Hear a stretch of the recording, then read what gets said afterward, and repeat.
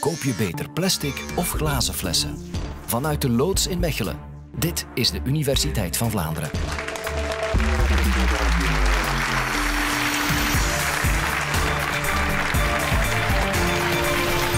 Dankjewel, dankjewel. De milieubewuste consument vraagt zich wel eens af wat is er beter voor het milieu? Glazen flessen of kunststofflessen? En daar wil ik vanavond een aantal tips over geven. Maar eerst en vooral, wat is het doel van een verpakking? Een verpakking communiceert met de consument, die vertelt wat er in die verpakking zit. De verpakking is ook een stukje marketing, maar vooral de verpakking dient om een product te gaan beschermen. En men heeft berekend dat eh, de verpakking 90 eh, tot 95 procent het product zal beschermen, want de milieu-impact, beste mensen, zit namelijk in het verpakkingssysteem.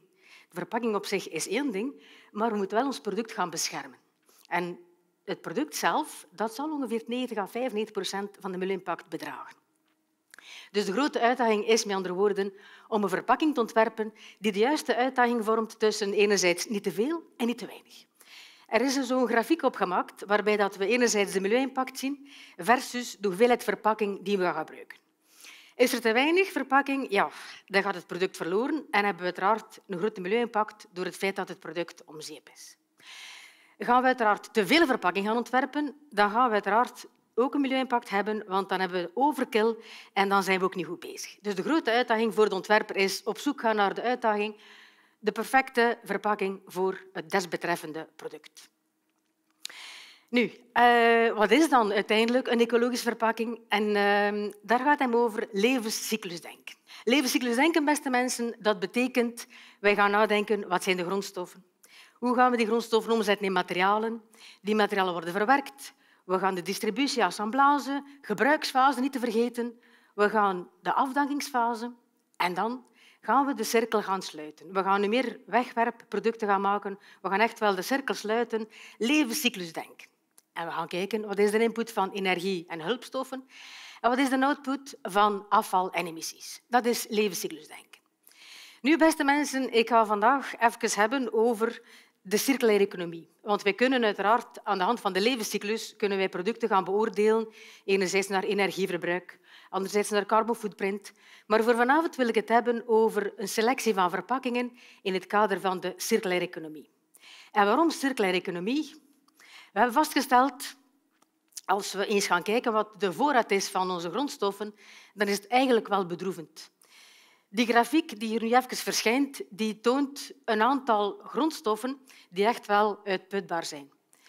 We gaan niet dieper in op de cijfers, maar ik kan u garanderen, beste mensen, nog één generatie en dan zijn heel veel grondstoffen uitgeput. Het wordt met andere woorden hoog tijd dat we zorg dragen voor onze grondstoffen en dat we ze circulair gaan gebruiken.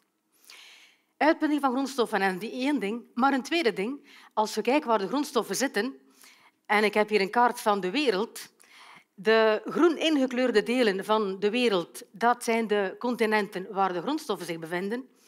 En als je een beetje aardrijkskunde kent, dan merk je direct dat hier in Europa dat er weinig of geen grondstoffen aanwezig zijn. En des te reden te meer voor hier binnen Europa echt wel zorg te dragen voor onze grondstoffen. Want anders gaan wij financieel afhankelijk worden van andere continenten en dat willen we niet. Dus het tweede belangrijk woord voor vandaag is circulair denken. Naast levenscyclusdenken, we denken aan de circulaire economie. En ik heb hier een aantal producten meegebracht vandaag en we gaan het dus bespreken met in het achterhoofd circulaire economie. Een verpakking. Eerst en vooral, de beste verpakking is uiteraard degene die niet bestaat. En wij zouden uiteraard als consument, als we naar de winkel gaan, kunnen we misschien beter onze verpakking zelf meenemen. Dus ik heb hier mijn broodzak. Uh, ik kan die toch wel 10, 20 keer ga met mijn broodzak naar de winkel. De eerste keer keek de bakker wel heel raar. Als ik zei, meneer, een broodje alstublieft. Maar ondertussen, ze kennen mij al in Lokeren en men, men weet al dat ik mijn lege verpakking dat ik daaraan kom. Ook hier die kleine potjes voor charcuterie bij een beenhouwer. Als ik op stap ga, ik heb zin in een koffietje. Ik heb altijd mijn beker bij mij, ik heb mijn bestek bij mij. Enfin, ik heb een klein eetkoffertje bij mij, maar ik kan altijd onderrood kan ik eten en drinken zonder schuldgevoel dat ik wegwerpproducten ga consumeren.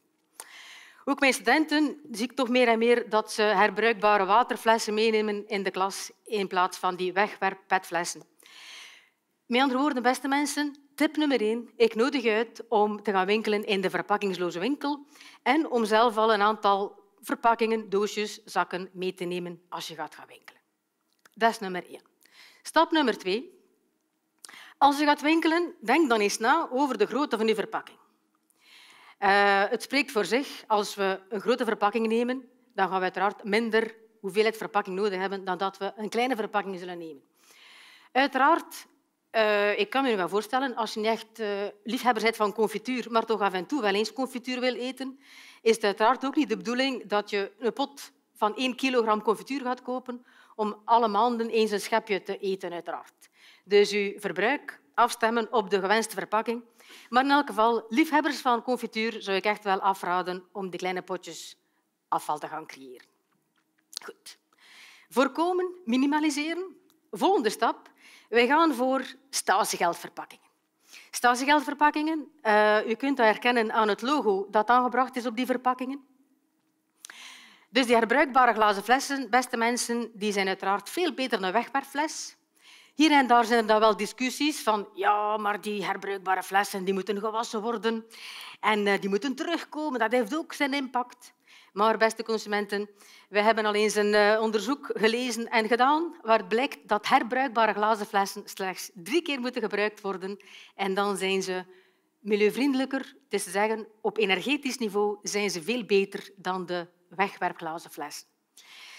Dus herbruikbare flessen, liefst met statiegeld. Ik weet, er zijn nog niet zoveel producten met statiegeld. Dat is de taak van de overheid. Wie weet zullen ze een uh, nuchtere, overdachte beslissing nemen en uh, statiegeld invoeren aan jullie om deze dan uiteraard te gaan aankopen. Als statiegeld niet aanwezig is, dan kunt je verpakking kopen die na gebruik een tweede leven kan hebben.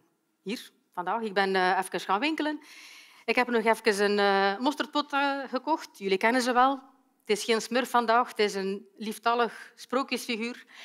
Maar die mosterdpot, in eerste instantie zal hij dienst doen als verpakking en dan kan hij als een tweede leven, als een drinkglas, verder gebruikt worden door de consument. Of die fles, een lekker drankje. Uh, eerlijk gezegd, ik heb dat drankje gekocht omwille van de fles. Uh, het is een hersluitbare fles, zoals je wel ziet. Je kunt dan in de zomer zelf lekkere drankjes maken. Uh, want eerlijk gezegd, wat erin zat was niet zo lekker, maar ik heb in elk geval wel mijn herbruikbare fles. Goed. Herbruikbaarheid. Niet alles is herbruikbaar. Op een zeker moment moeten we dan toch wel denken, ja, als het niet mogelijk is, naar wegwerp. Wegwerp, de volgende tip. We zijn echt wel een soort van hiërarchie aan het volgen.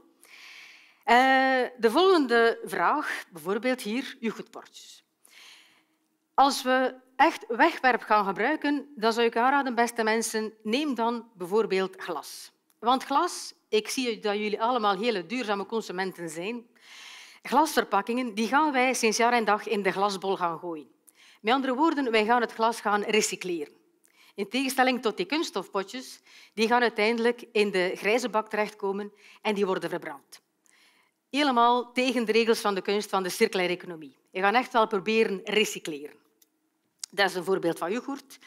Trouwens, ik wil er ook even eh, een opmerking bij maken. Als je moet kiezen tussen glas en kunststof, eh, kan ik jullie alvast meegeven dat glas in welke omstandigheden dat je ze ook gaat gebruiken, uh, in de zon, in de warmte, over lange tijd. Glas is een inert materiaal. Er zal geen interactie ontstaan tussen de voeding. Dus kwestie van gezondheid, uh, ben je echt wel zeker met glas en je bent niet altijd zeker met kunststof. Met kunststof kunnen er stoffen uit migreren als die bijvoorbeeld dagenlang in de zon staan of in de warmte. Goed. Tweede voorbeeld. Uh, zoals je ziet, ik heb een kat thuis. Hè, en dan is de vraag, ja, oké, wat zal ik mijn kat serveren? Ideaal, hier, de metalen verpakkingen, die komen ook in de PMD terecht. In de PMD, plastic flessen, metaal- en drankkartons, metalen verpakkingen, die ga je droppen in de PMD en die zullen gerecycleerd worden. In tegenstelling tot die zakjes, het is inderdaad wel plastic, maar het zal niet in de PMD terechtkomen. Het komt weer terug in de grijze zak, het wordt verbrand, het is verloren. Weer tegen de regel van de kunst van de circulaire economie. Ik zie nu misschien een aantal vraagtekens in jullie ogen verschijnen van ja, PMD inderdaad, dat staat voor de plastic flessen. Waarom mag inderdaad een botervlootje, waarom mag dat niet in de PMD? Of waarom mogen die verpakkingen van die voorverpakte hesp en kaas en dergelijke, waarom mag men dat niet in de PMD gaan gooien als consument? Wel, beste mensen, om de heel eenvoudige reden, dat zijn geen zuivere kunststoffen. Moesten wij echt kunnen zien, dan zouden we kijken en dan zouden we zien dat dat een multilayer is. Dat is niet één bepaalde kunststof, dat zijn verschillende laagjes op elkaar. En verschillende laagjes op elkaar die zijn heel moeilijk om te recycleren. En vandaar heeft men gezegd, P staat voor de plastic flessen, niet voor plastic. Enkel alleen de plastic flessen, de petflessen, dat is een zuivere kunststof en die kunnen we heel kwalitatief vol gaan recycleren en al die dingen niet. En zo kom ik bij mijn categorie van de uh, ongelooflijke onecologische producten. Hier bijvoorbeeld, zo die tubus, dat is misschien allemaal plezant als consument, maar dat is absoluut een, een, uh, ja, een schade voor onze economie, onze circulaire economie. Verschillende materialen samen, niet te recycleren, komen in de PMD-zak, zeker niet terecht, komen in de grijze zak terecht. En op die verpakking, dat is wel plezant om uh, een weetje, sommige fabrikanten die gaan dan, trekken dan zo de groene kaart, en, ja, groene kaart, je ziet het, hè.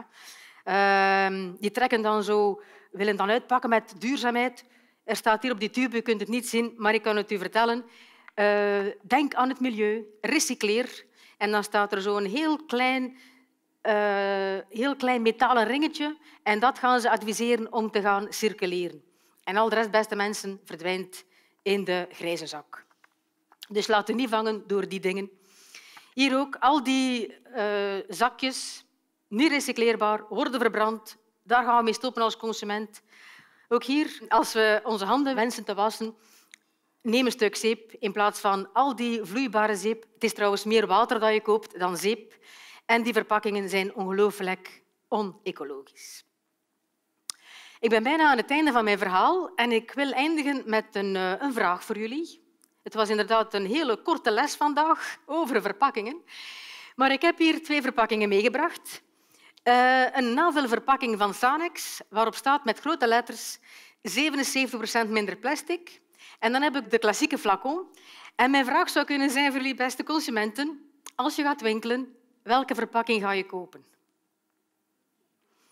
De flacon, hoor ik fluisteren. Dat is heel goed gekozen. En waarom? Want het is ook zoals ik examenvragen stel, is het niet alleen ja of nee, maar ik moet ook altijd de verklaring weten. Wat is de reden?